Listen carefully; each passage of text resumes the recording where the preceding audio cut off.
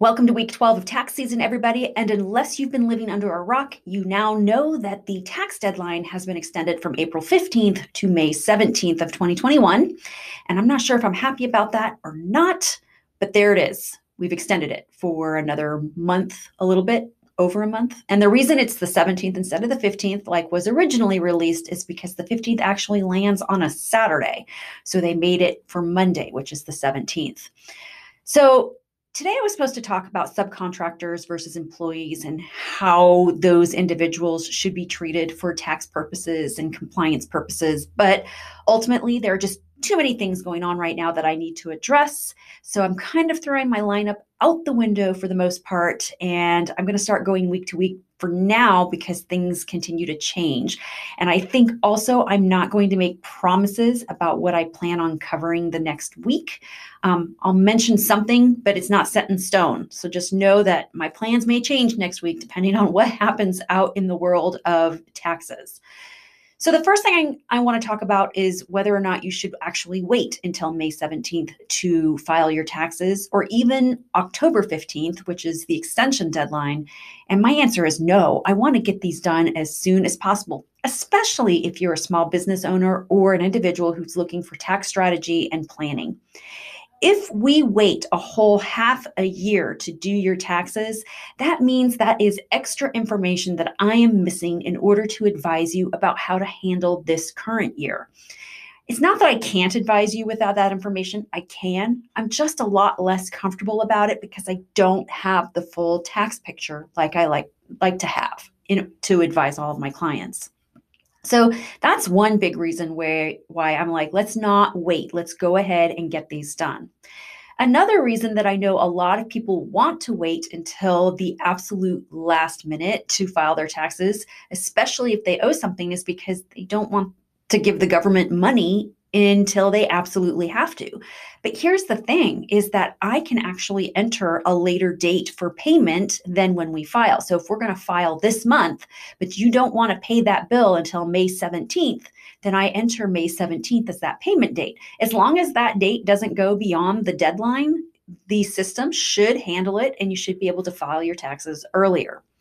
Now, as far as those of you who wait until the deadline in September, October timeframe, yeah, that's not a good idea. I know a lot of you do it because, again, you know you're going to owe money and you don't want to give it to the IRS until you absolutely have to. But here's the problem the joke's kind of on you at that point because everything is due by May 17th most years April 15th, regardless of whether or not you've done your taxes.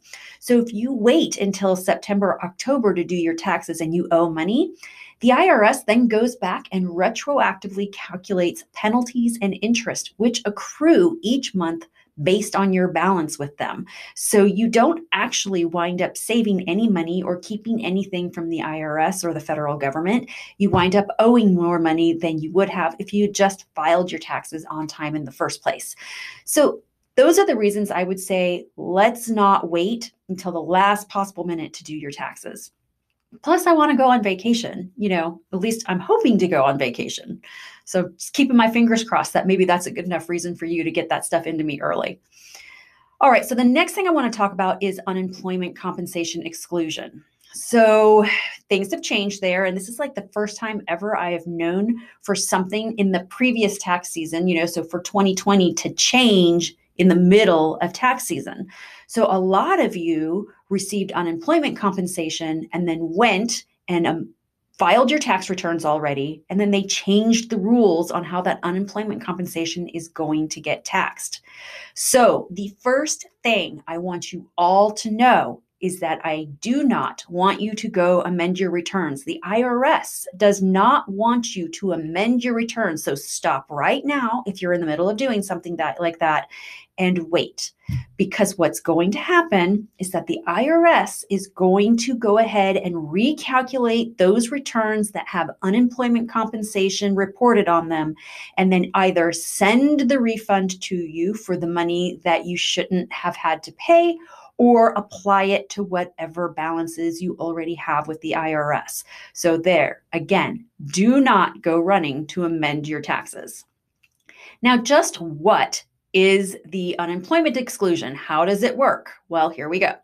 If you received unemployment compensation and your adjusted gross income, we call it AGI, is below $150,000, you qualify.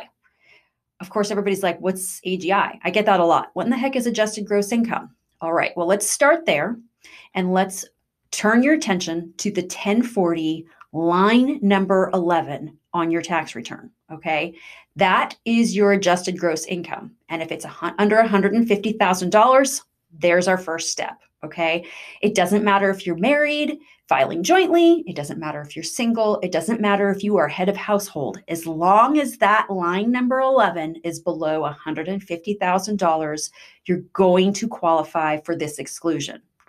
Now, the next thing that you need to have is you need to actually have unemployment income.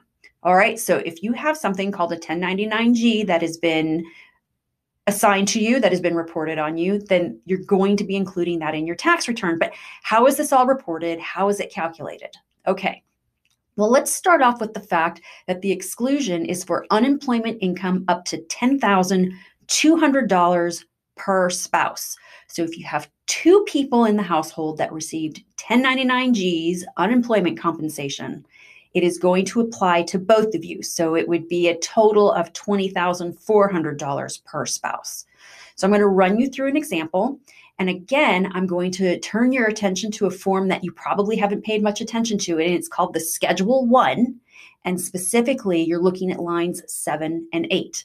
Now, line seven is where all of your unemployment compensation is being reported, okay? And then line eight is where it is being calculated what is actually non taxable. So, as an example, if you are two people, spouses, and one of you receives $20,000 in unemployment compensation, and then the other spouse receives $10,000 in unemployment compensation, what you're going to see on line eight is $20,200 reduction in your taxable income. And the reason for that is because one spouse received $10,000. So, because it doesn't break the $10,200 barrier, that entire amount for that con- unemployment compensation is excluded.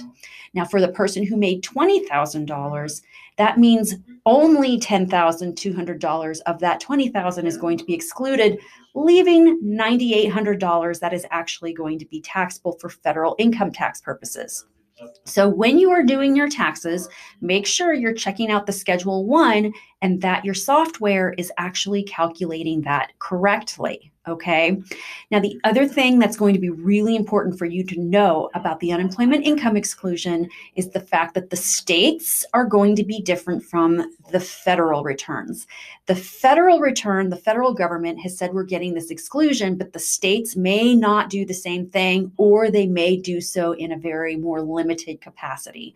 So it's something to keep in mind that you may see that exclusion on your federal income tax return, but not your state income tax return. So just be looking looking and figuring out what your state rules are. Okay, everybody? All right, I think that covers it for today's video. Uh, again, next week, my plan is to go over something that has been happening a lot this year. I ask people for copies of their previous tax returns when they're new clients of mine, and this year, for some reason, I'm getting a lot of attitude about it, and I don't understand why. So, next week's video is going to be about why I ask for those tax returns. So, hopefully, we'll see you there. And of course, feel free to reach out to me if you have any additional questions about today's subject matter or anything else. Take care, everybody.